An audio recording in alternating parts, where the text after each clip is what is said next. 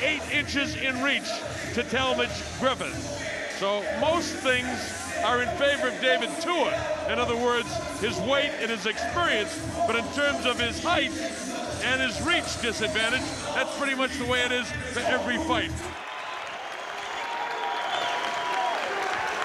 Ladies and gentlemen, good evening and welcome to Trust Stadium here in Waitakere City, New Zealand, where tonight 72 promotions in association with Cedric Kushner Promotions are proud to present Tour of Duty 10 rounds of boxing in the heavyweight division.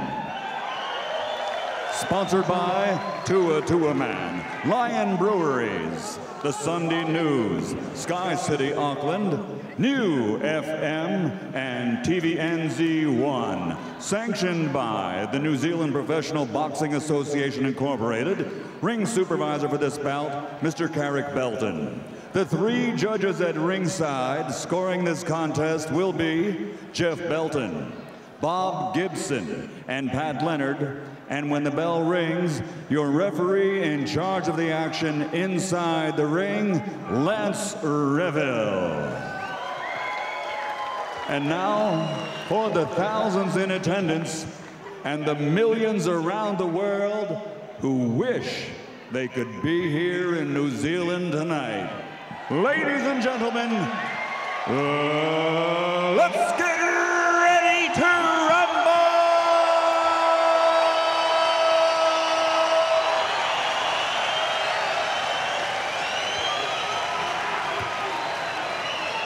Introducing first, fighting out of the blue corner, wearing black with red.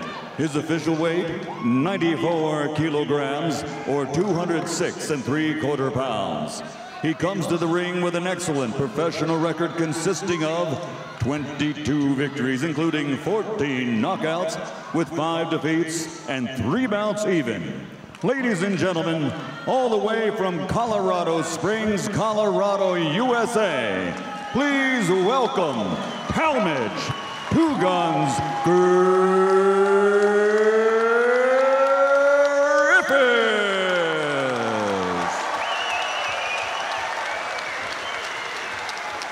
And his opponent across the ring, fighting out of the red corner, wearing black with silver, official weight 114 kilograms or 251 pounds. His professional record 42 victories, including 37 knockouts, with only three defeats and one draw. From South Auckland, the former IBF Intercontinental Heavyweight Champion, former WBC International Heavyweight Champion, and former number one ranked heavyweight contender in the world, presenting the fighting Kiwi pride of New Zealand, to a Man, David.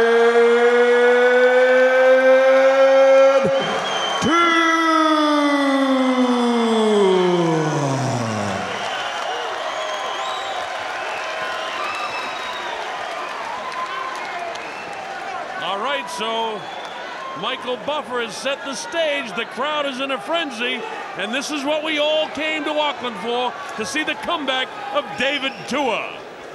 You all know the history, the distractions of his contract problems, but that's all behind him now. Okay, boys, We're ready to go. from the change rooms. I'll say once again, obey my commands at all time. Touch him up. Good luck to both of you.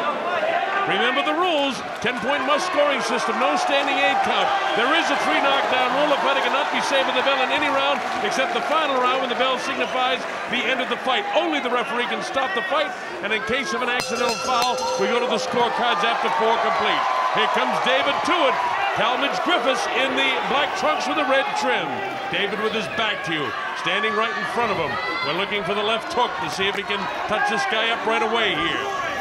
As David blasts to the body right away. Griffis tries to hold him off with a jab. Very calm and cool, Mike, is uh, David so far. Well, he's been in against a lot tougher and harder punching fighters than Talmadge Griffis, but picking his punches early, and we saw going to the body with the right hand early. That is a typical David Tua move to set up the left hook up high, but breaking him down early, and you see just the leverage he gets on that sort of leaping jab that he does, the sledgehammer jab. David showing some patience here as he waits for the opening against Talmadge Griffis. Griffis backs off, tries to stay away from him, tries to keep that jab in his face. Don't like the way that Griffis is circling to his right. He's got to keep that right hand of his up. We all know about David Tua's left hook. It's no secret. David built up a good sweat in the dressing room, but there was a lot of time with all of the festivities coming out here, so he's cooled off a bit. Right now, he's just looking for his opportunity to land one big blasting shot. But there's the hand speed of Griffis. David not panicking whatsoever, just waiting for his opportunity.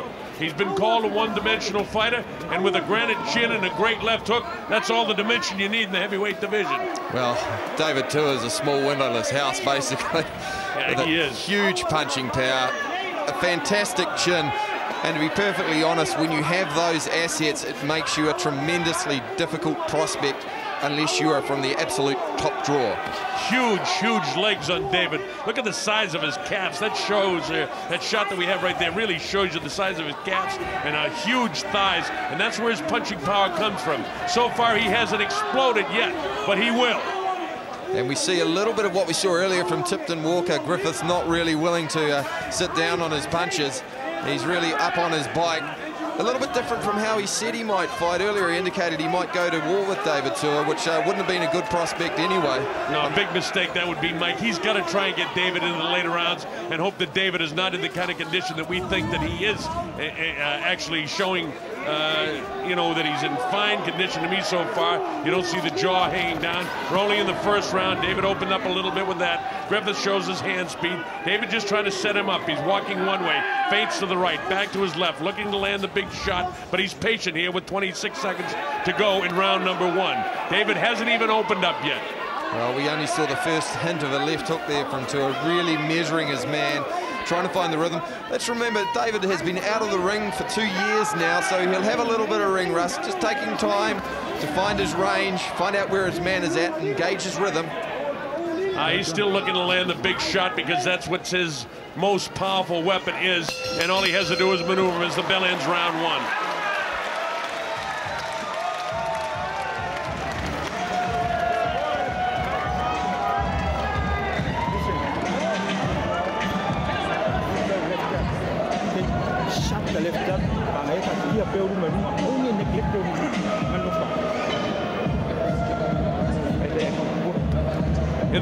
The corner of David is Jim Strickland, Inga Tuigamala, Billy Stratham, and Gus Lamb.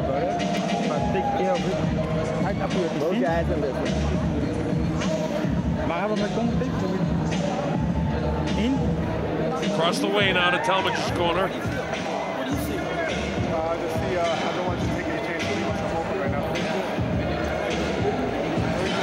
Kishna Wainwright in there with him. Kevin Lawler, his manager and sponsor, also in the corner with him. By the way, I gave that first round to Griffis because David really didn't do anything. All right, here we go. This is round number two. Scheduled for 10 rounds, heavyweight division. It's the comeback of David Tua. Let's see if David is warmed up enough to open up here now, Mike. Well, already it's gone a lot further than people thought it might. To be honest, it's not necessarily a bad thing for David to do a couple of rounds. Well, I bet on a first round knockout. I've already lost. I have a lot of faith in David, though, before this is over. There'll be a knockout, folks. Don't you worry. I suspect the first really serious punch that he lands, and we've seen it against uh, bigger and better fighters than Talmadge Griffis. You know what I love punch about knockout. Sorry, Mike. You know what I love about this though is the anticipation when it's coming. And you know, all through the call of the even the Lennox Lewis fight, I was waiting and waiting and hoping that night. But here, I can almost feel it in my bones tonight in this uh, exciting crowd here at Trust Stadium, Waitakere. Griffis doing a good job so far. Just uh, keeping his distance. And that honestly is the way he's got to fight him. It's not exciting yet. It'll get exciting when David decides to open up. But mind you, folks, David Tua is dictating what he wants to do. He's trying to maneuver this guy and get in position to land the shot. He can be conservative about how many punches he throws because he doesn't need to outbox this guy. He needs to knock him out. Notice Griffis's right hand just drops a little low from time to time. David Tua may have an opportunity, particularly if he throws throws a jab, fakes the jab, and then comes around with the left hook, which is a very, very useful Tua combination. And if Griffis isn't quick enough, he will get clouted by the big powerhouse left hook of the Flying Samoan. I'm surprised that David hasn't hit him to the body, at least to let him feel the power, you know, to take some of the spirit out of him, take some of the heart out of uh, Talmadge Griffis. David hasn't done that. He hasn't gone to the body at all. In fact, he hasn't done much of anything so far. Waiting, waiting, waiting. There's the left hook, but that was kind of a pawing left hook from David. As Griffis's jab was a pawing jab, and as I expected, David can walk right through that jab anytime he wants. David should blast a couple of shots in the body. There's the left hook upstairs, but it doesn't catch enough of the jaw of Griffis. Caught Griffis just moving away there on the angle. He wouldn't want to be drifting into it or even standing stationary. Just like to see David perhaps go to work with that right hand to the body and then coming upstairs Make no mistake about it, the Talmadge Griffis is in a survival mode, and that's the way he should fight this guy. He doesn't want to mix with David. He wants to stay out here, never wants to enter the kill zone unless he's throwing, and then he better get out of there. And he's fighting a perfect fight so far because he's winning the fight. He won the first round based on activity, and he's winning the second round based on activity. Well, the book on David Tua has always been the same. it's no secret David can be beaten and frustrated if you keep him on the outside, but very, very few fighters have been able to do that. And Griffis won't be able to keep him on the outside. When David dictates it's time to mix it up and he wants to go, he'll be able to come right through that jab. The bell ends the second round.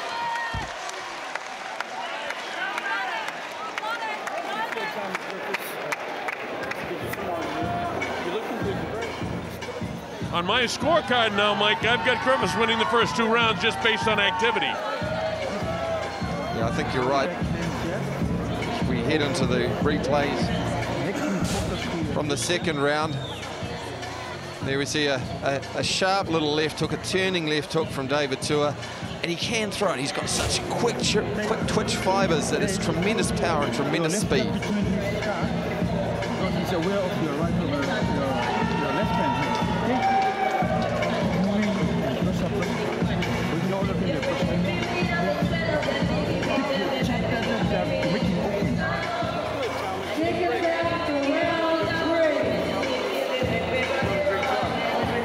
We're coming up to round three. The Colonel Bob Sheridan here with Mike Angove.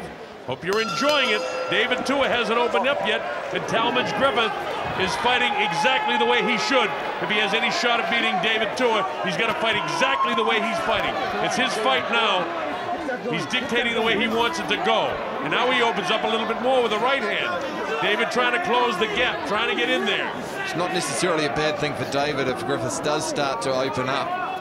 If Griffis starts to get brave and stand there and trade with Tua, he will come off second best. Oh, for sure.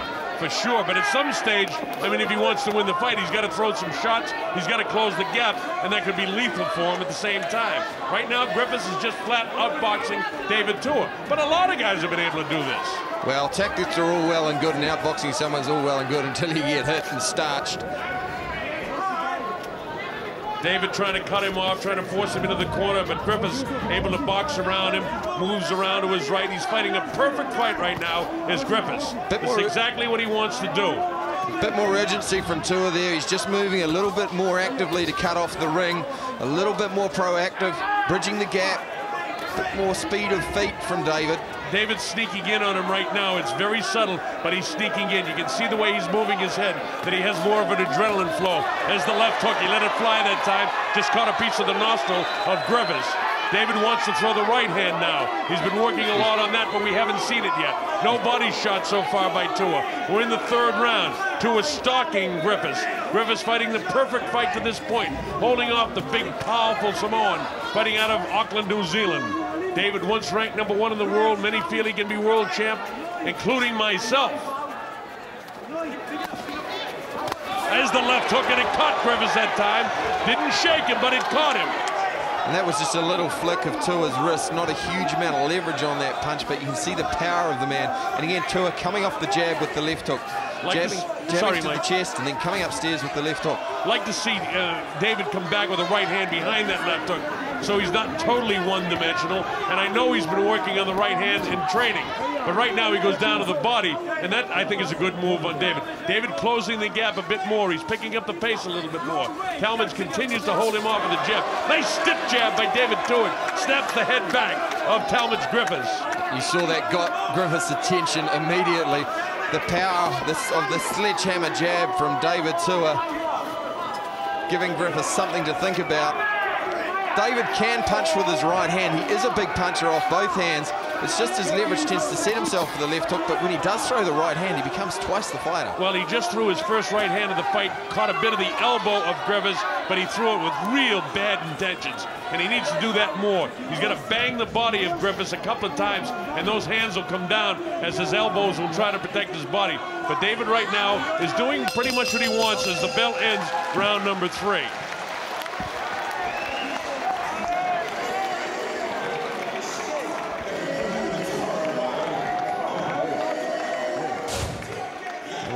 Looking at the replay there. David Tua just slipping the left jab, slipping the jab of Griffis, coming back with the left hook, and there we saw the second left hook, just catching Griffis on the point of his chin. Now we drop into the corner of David Tua.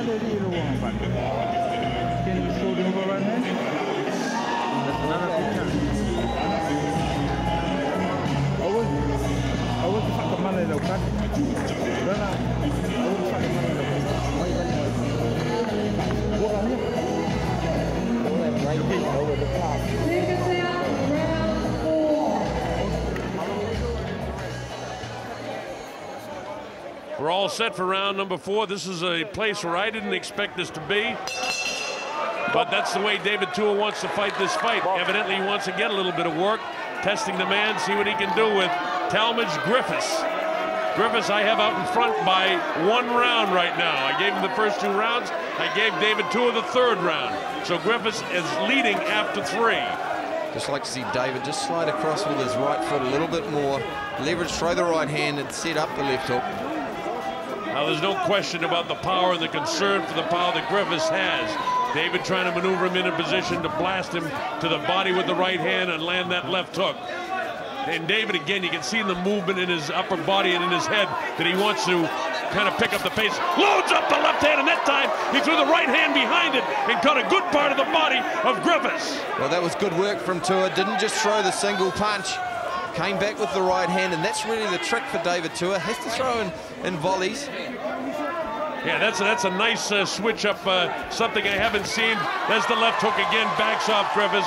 So David wants to pick it up here in round four. And you know, when you see his head moving back and forth, Larry Holmes is a guy that fought like that too. Start seeing that head move back and forth. You know, he wanted to pick up the pace. That's the feeling I get in the eyes of David Tua. There's just the, the, the sense of inevitability about this fight. David Tua seems to be controlling the rhythm, controlling the action. And just when he wants to pick it up, he can hurt Griffis. Well, Griffis is not doing the boxing he did in the first two rounds. He really looks like a uh, kind of a deer in headlights right now. He doesn't want to get clipped by the heavy shot of David Tua. And see, now he's making a mistake. He flattens out his feet.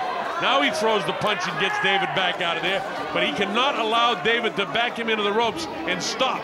As soon as he feels those ropes on his back, he better slide down the ropes because it is just a matter of time before Tua catches him. There's the left hook. And that And was he's back up against the ropes again. David touches him up with the left hand. Just measuring with the left hand. He's not really planning the jab. He wants to throw the right behind it. He's closing the gap. He misses with the left hook that time. David's missed the left hook now on three occasions in this fight. I'd like to see him just string on the right hand behind the left hook because Talmadge Griffis is just pulling his head back out of the way. If David could follow up with the right hand, then, then his own left hook to follow that, he could actually catch Griffis. Mike, when you get in there at the end of the fight, you're going to interview David. Should he knock him out? Ask him if his fight style was to just get some work in and test and, and maneuver him around. I'd be interested to know that because he's fighting like a, a guy that wants to pick up the pace now, but almost like he was toying with him like a, a, a cat with a mouse in the first couple of rounds. Caught, him, caught a good piece of him that time. You start to see Tua just moving his head a little more, slipping under and countering with the hook. When David Tua starts to move like that, you know he's beginning to get set. Notice that Griffis is not planning the jab anymore. David's making him miss, and David is getting more and more accurate with his shots. As the bell ending the fourth round, that's a good two around.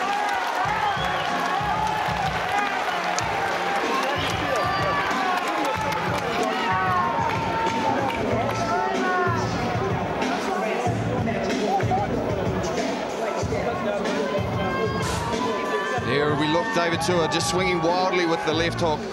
Griffis just pulling his head back out of the way, doubling up with the jab, following with the left hook, David Tua, catching a piece of Talmadge Griffis. And again, just catching him drifting away rather than full on into the punch. This Griffis corner, you see him with the end swell of the right eye. So that left hook is beginning to take some sort of toll. Nobody's been down so far. Nobody really shaken.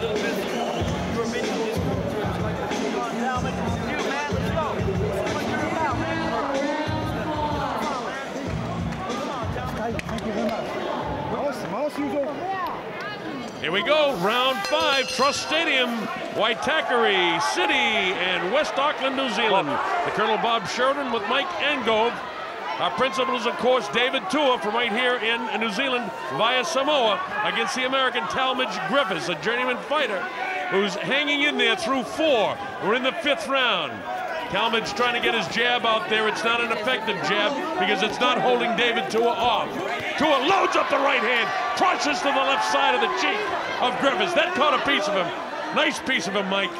Nice work from Griffis to get out of the corner, though, but certainly David Tua through the right hand. Just still not quite leveraging it right. He's a little bit flat-footed on his heel. And again, you notice Griffis Instead of stepping up into his jab, he's jabbing and backing off.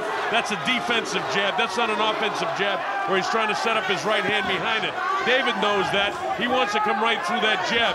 And also, I get the feeling in my mind that David's had enough of messing around with this guy. He'd like to finish him off here. There's the uppercut. There's the oh, left hook. He's, he's got him staggered. He's got him staggered just a bit. The right hand. Griffis tries to fight back. Is it a mistake? I don't know. He gets away that time. Well, he was certainly wobbled, Talmadge Griffis. He has felt the power of David Tua for the first time, and there he doubles up again with the left hook. All right, David now wants to finish him off here in the fifth round. He's had enough of monkeying around with this guy. Let's see if he can do it. There's the left hook. Crunches to the right side of the skull again of Griffis. But Griffis stands in there, making the mistake of putting the back to the ropes. Here comes David in to try to finish him off. Where's the right hand, David? He doesn't let it fly. He lets Griffis off the hook. Has the left hook. Right hand behind it. David's all over him. He wants to finish him and can't catch up with him. David's just getting a little frustrated. He knows he's got a piece of him. He just needs to set his feet a little bit better. Display some of the patience he had earlier. Griffis still pouring away with the jab. But David's power did stagger him here early in the fifth round. David hasn't been able to catch him real cleanly since, but he's turned it up a notch. You know he wants to finish him here. Tua coming forward, pouring to set up the right hand or that left hook again. Talmadge almost desperately backing up. There's the left hook again, but it sails across the nose of Griffis without getting a piece of it. David bounces forward this time, trying to set up another power shot. Yeah, Griffis just getting a little bit confident in, in, inside there, even though he's still backing up. He's turning to her quite often, which isn't a bad tactic. Turning a big man and a man who's a little less mobile. Well, that's a, that's a good point, Mike. You should be trying to turn David and, and a guy that's not very mobile. But on the other hand, with this guy and the power that David has, he's just got to fight the defensive fight. He's fighting, and every once in a while try to open up a bit. But David's coming right through the jab because he's throwing it defensively is Griffis. David paused with his right hand there. If he's going to throw it, he's got to let it fly. He, he is there for the right hand too. He's slightly lazy on that jab. Like to see David throw it. Of course, we've been asking for that for a long time. The bell ends the fifth round. That's the best round for David Tua.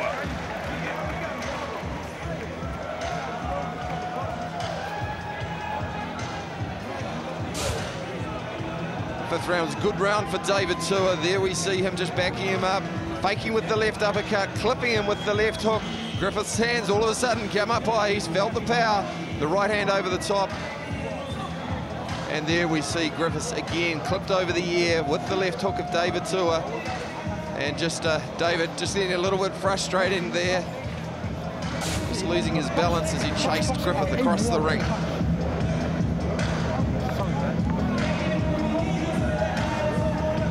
David with a new spirituality, desire. Kevin Barry did the job bringing him to the point in his career where he became number one, and now he's turned to his family to take him the rest of the way home in his quest for the heavyweight championship of the world. This is round six. I get the idea that anytime David wants to finish it, he can do it now. And he's up on his toes. He wants to chase this guy down. He'd like to finish it. I thought he wanted to finish him off in the fifth the way he was moving, but he may try to do it here in the sixth. He's tired of fooling with him anyway, Mike. Well, certainly he knows he's got to get his man out of there now. If there was any plans on going some rounds, he's got enough ring time and he's got the rhythm. He just needs to put him away.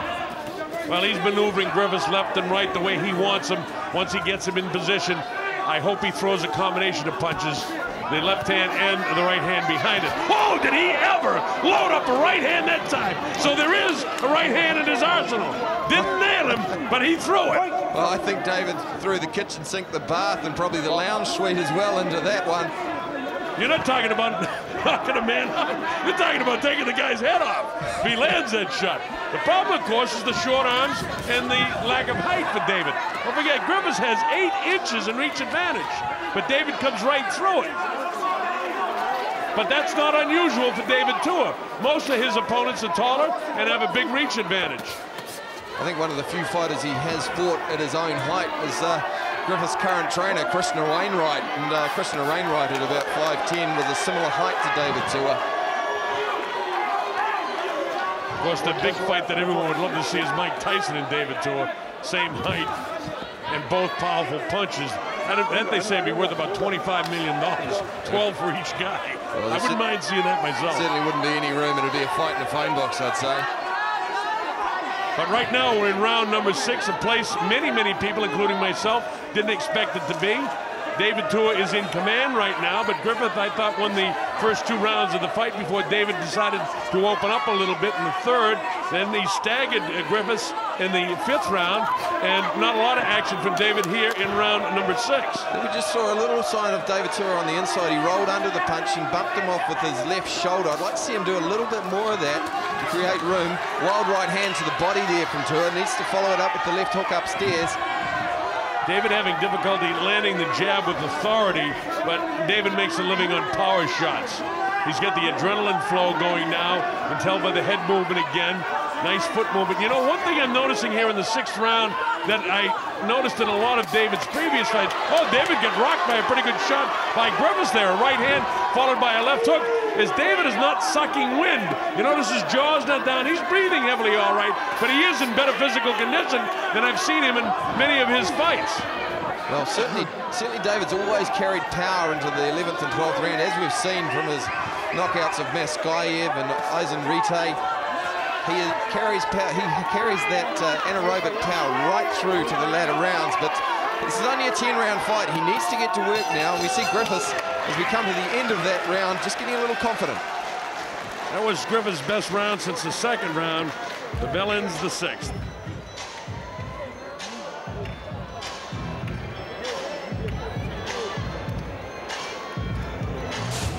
Um, here we have a look at David just setting up now, just setting up Griffis for something. And there we go, the kitchen sink, the bath, and probably the car as well and a nice right hand left hook that momentarily looked like it wobbled David Tua from Griffis.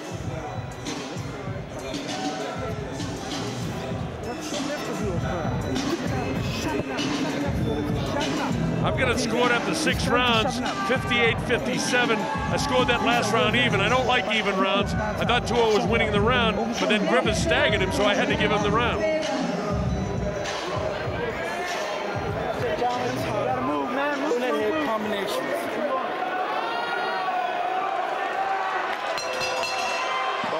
As we head into the seventh round, we heard Krishna Wainwright saying to Griffis, you got to move, man, move, move, move. And that's the book on David Tua. He has to keep moving. As soon as he stops, he becomes a target. David trying to pick up the pace now. You see how quick he is on his feet right now. He doesn't want to drag this thing into the eighth, ninth, and tenth round. He wants to take this guy out soon. And he really needs to to make his impression on the world scene. He's got to try to finish this guy off now. The jab won't hold him off. David can come right through that. but I think he needs to blast some more shots to the body, soften Griffis up a little bit more, and then try to finish him off. You just see David just a little bit off balance, probably signs of being out of the ring for a little while. Just on occasion, he's caught off balance and not in a position to throw a counter shot. He's making Griffis miss on occasion, but really when he does that, he needs to come back with something.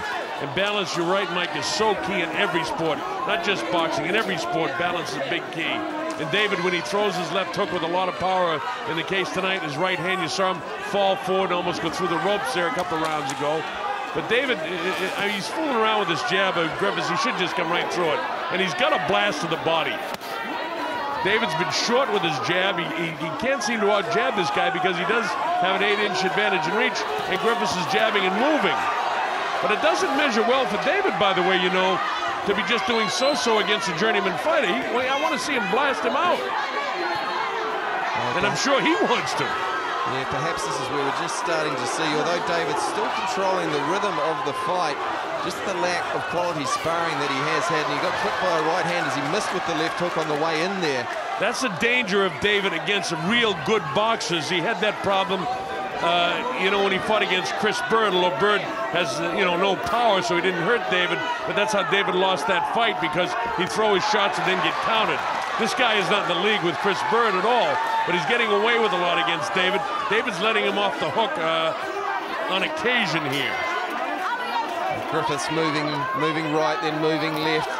Nice sledgehammer jab there again from Tua. That's the first good jab that David's landed, and I'd like to see him do that more, and he needs to do that. And he throws the right hand to the body, caught a pretty good piece of Griffis' body that time. You notice Griffis' left elbow comes into his body after David whacked him that time. David wants to load up a power shot right here. You can see it coming. He's planting his feet, getting his legs ready, getting ready to turn his hip over. There's the left hook, the power shot, makes a miss. Now there's an opportunity there when a guy throws a right hand power shot to counter him with a left hook, but David wasn't in position to do that. It's easy from down here to pick that up, but it's much harder when the guy's in front of you. Yeah, that's right. Sometimes it's easier talking about it than do it. Oh, and there we see the left. Left hook, right, right hand catches him. He's got him in trouble now. Griffith's trying to hang on. Here's David with all the power, trying to finish him up. How is Griffis stood up against the power shots? Left hand, right hand. He was ready to go at the bell, but in no time did David drop him. He staggered him, and he staggers towards his corner.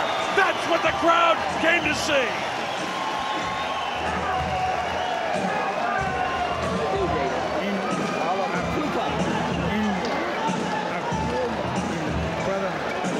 We come as we look towards the end of that round. David Tua has been tracking him down for so long. The sledgehammer jab doubling up on it.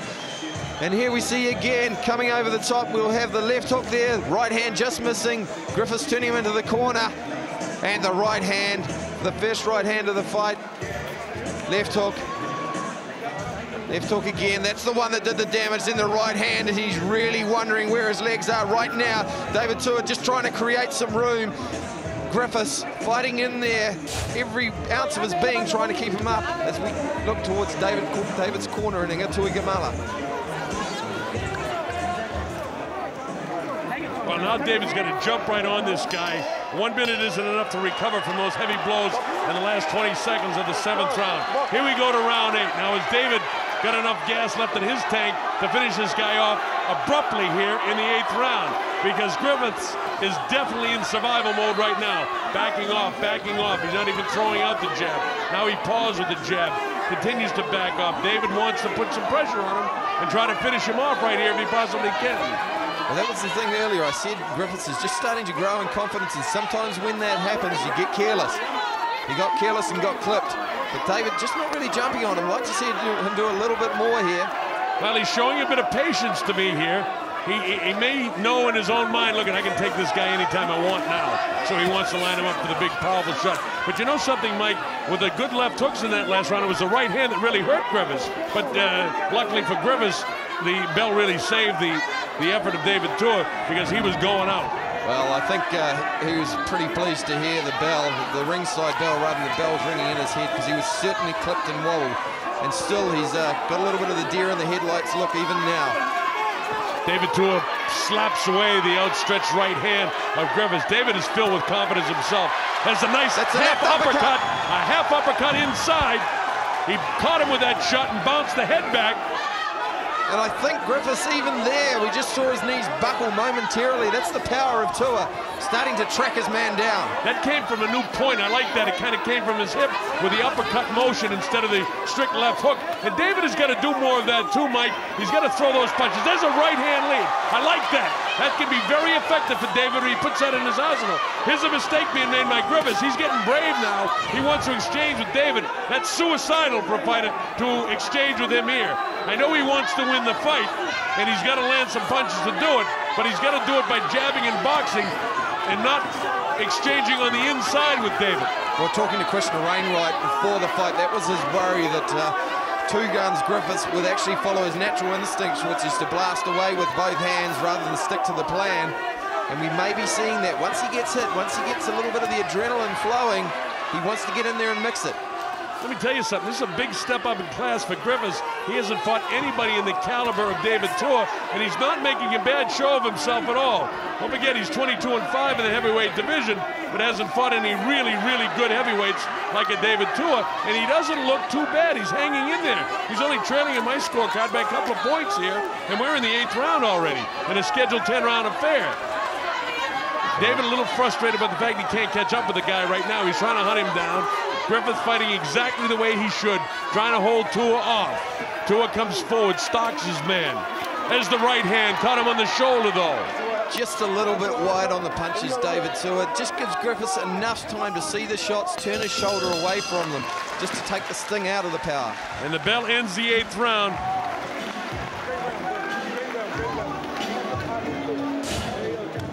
Well, here we see Tua just going with the left hook and the uppercut that momentarily buckled Griffis' knees, but he came back well from that.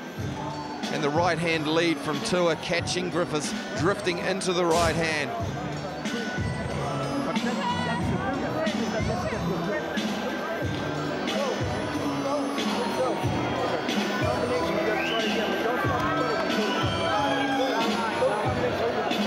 So Griffis was staggered in the fifth. He rocked Tua in the sixth. Then he was staggered himself with a three-punch combination of hooks and right hands in the seventh.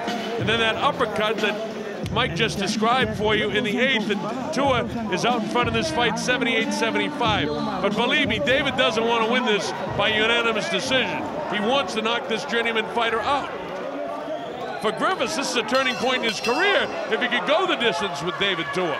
There's no disgrace for him to go 22 and 6 with a 10 round loss to David Tua. And that may be his mindset right now. Certainly he'll secure himself a couple more paydays as the man who went the distance with Tua, but that's yet to happen yet. And a left hook that did start to land cleanly there just went over the top of the glove. Now I get a sense of urgency again from David. I see his head moving. I see him trying to work on the inside. I see him walking through the jab of Griffis, whose jab is now and has been for the past couple of rounds a very defensive jab. And David looking to land power shots. He throws kind of a tentative right hand, but there was nothing tentative about the left hand. It just didn't catch him flush. And Griffis, as a matter of fact, countered right back with a right hand of his own. Now look at Griffis getting brave as he pushed Tua off. Digging, digging two-handed to the body, but with David throwing the right hand, it set up the left hook. Another significant factor is the conditioning of Tua. He's not sucking wind in the ninth round. He's breathing comfortably. He's a little gassed, but there's a lot of power here in the late rounds of David Tua. He's in good physical condition. His timing is just slightly off, and that could be the two-year layoff. I didn't think it would make any difference for David because of him being, you know, the dimensional fighter that he is with the left hook. I've seen more right hands, which I like but I, I, just expected he'd eat up this journeyman fighter who has gotten brave as this fight has gone on. Kind of like Leon Spinks against Muhammad Ali in the first fight. Well, we talked about that in the press conference as well. Leon Spinks in that first fight, he had, oh, and there's a left hook. I think that wobbled Griffis momentarily there. He certainly looked starry-eyed. Yeah, he's starry-eyed all right, and his heels are very heavy. David may have caught a bigger piece of him than we thought there, Mike.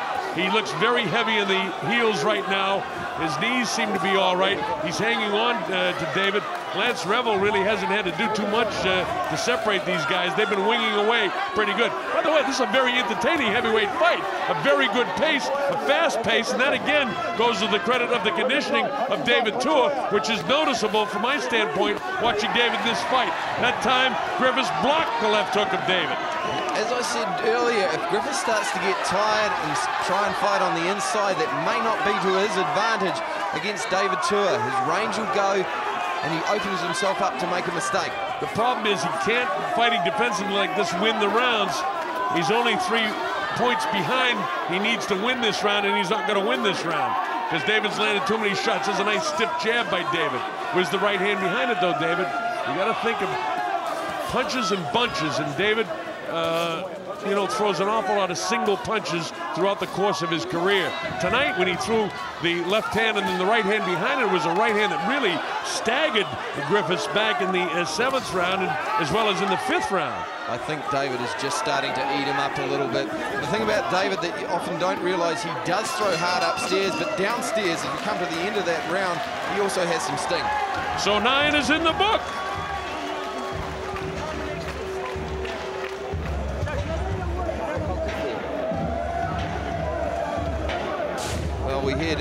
End of round nine, not expecting it to go that far.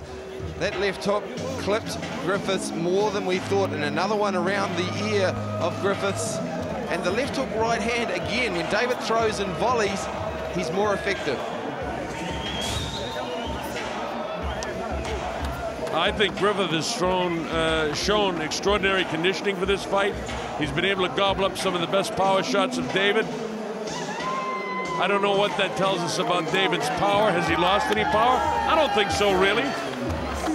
I just uh, think that maybe the layoff, you talk about ring rust. I didn't expect that to happen, but there might be a little bit of ring rust. That's why his uh, promoter, Cedric Kushner, says, I want to get him right back in 90 days again. Here we come, the 10th and final round. The Colonel, Bob Sheridan, with Mike Engo, glad that you're going to be with us. We're at Trust Stadium in Waitakere. You're watching TV NZ, and now there is a sense of urgency.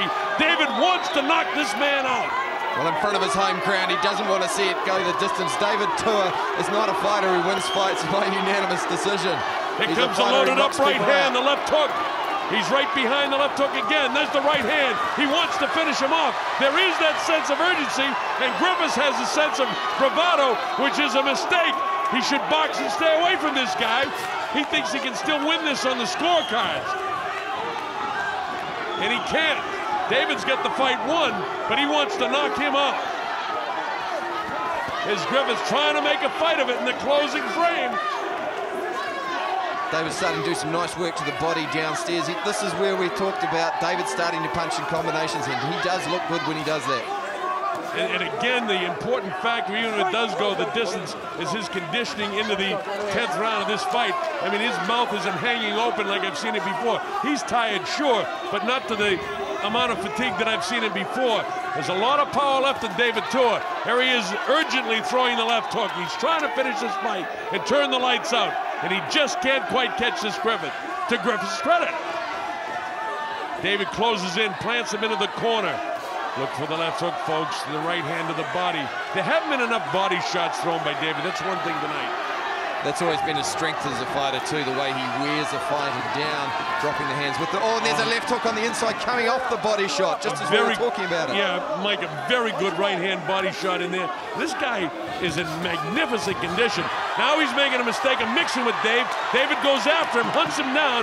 He's trying to finish him off. With everything he has, he wants to knock this man out. A lot of credit is going to go to Griffis standing in there with his big, powerful puncher. Just gets rocked by right hand. There's the uppercut by Tua. He backs him off, loads up the right hand, the left hook. David Look starting to go to the work. Another right uppercut up top. Uh, there's a real sense of urgency for him to turn the lights out. Griffis is trying to hang in there as best he can. He's still not hanging on to him. He really should grab David right now loads up the right hand, oh, cracks him, right cracks him with a shot, big left hook. David is trying to finish it off. Look at this. Talk about conditioning. Griffis is ready to go. Tua's in him with everything. Lance Revel should move in and stop the fight.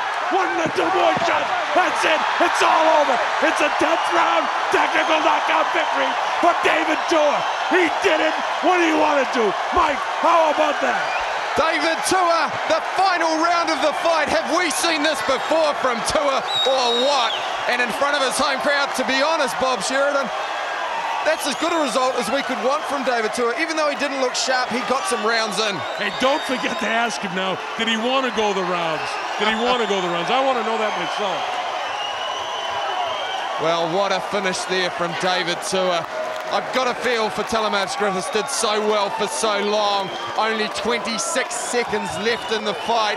But he showed a lot of guts and determination, and he did take some big shots. A brilliant finish for David Tua. He wanted to knock him out in the 10th round, and he did. When he turned it up to the full steam, he was able to do it. And remember what I said about his conditioning, Mike? He was in great shape, fine shape, as good a shape as I've seen. All right, Michael Buffer standing by. We've got to make it official. So without further ado, let's go to the classiest ring announcer of them all, Michael Buffer. Ladies and gentlemen, the end comes at 2 minutes 45 seconds of the 10th and final round. The winner by TKO victory. He is back to a man, David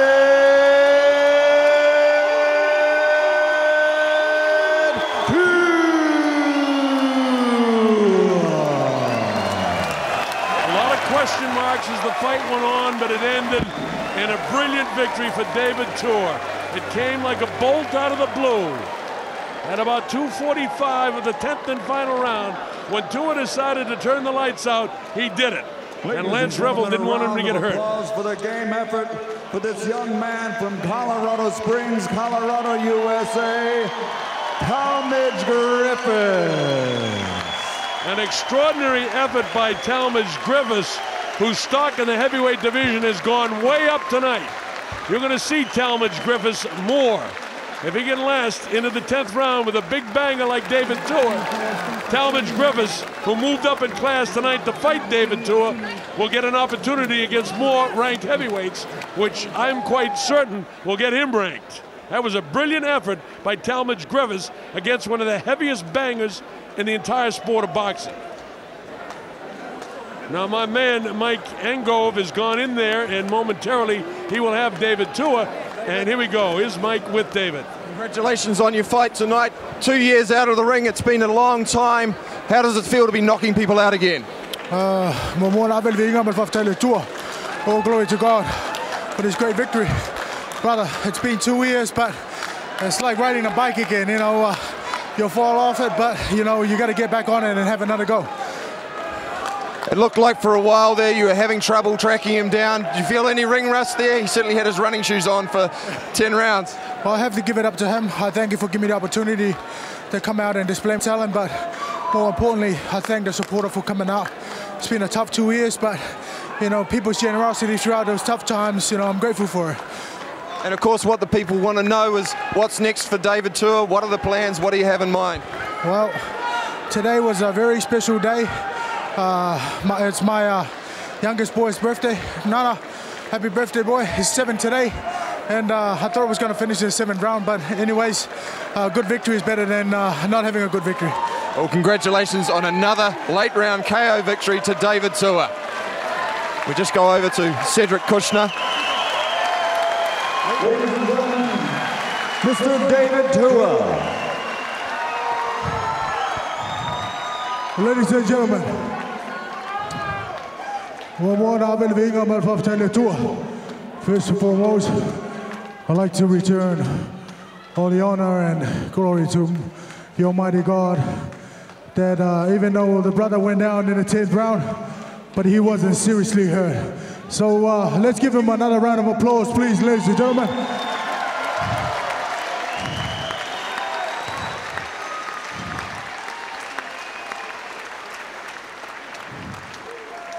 On behalf of uh, our humble small team Tua, I'd just like to thank you all for taking the time to come out and support me.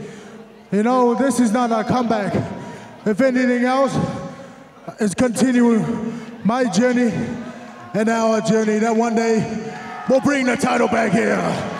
Manuel Lasso.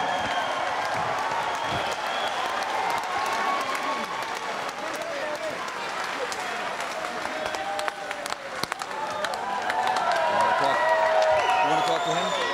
Yep.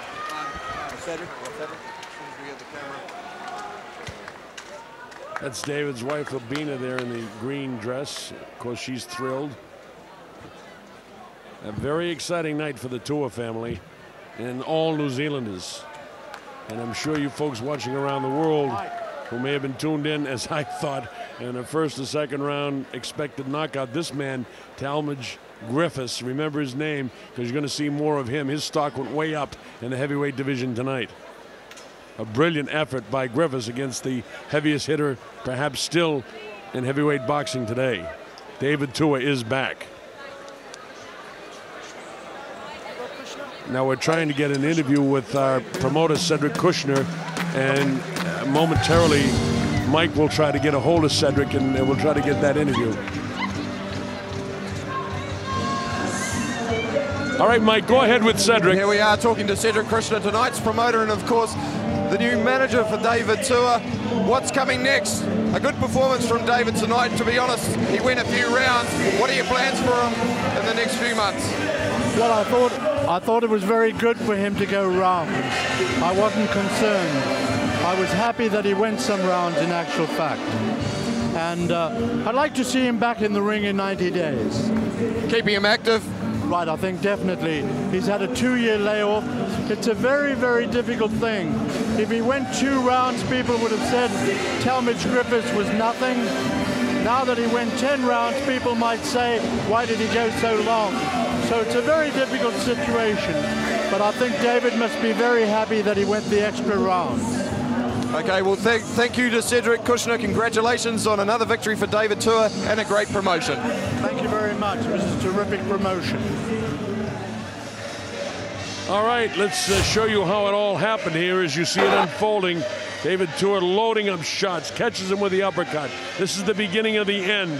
Griffis tries to fight back gamely, but look at the assault in the final round by David Tua. Look at the clean shots. There's about five or six, and you see Lance Revel wants to move in, but he's giving him every opportunity to hang in there. Then one final big right hand it was, not the left hook. The right hand was the final shot that uh, referee Lance Revel saw, and that was enough for him not to allow Talmadge Griffis, who put up a brilliant battle, not to allow him to get hurt. So it was a brilliant effort again by Griffis, but even more brilliant for David, who had to go into the 10th round, but was in magnificent condition. Never had that jaw hanging down where he was really gassed and sucking wind. He trained hard, and when he wanted to turn up the notch, I thought he wanted to take him out in the seventh, but there was no question about it in the 10th that he was going for a knockout, and it came with just 15 seconds left in the fight. All right, that's the situation. We want to thank everybody involved here. Murray Needham, our executive producer, Stu Dennison, and the director, Barbara Mitchell. So for Mike Engo and the Colonel Bob Sheridan saying, I hope you enjoyed being with us. Thanks to everybody at TVNZ. A great night.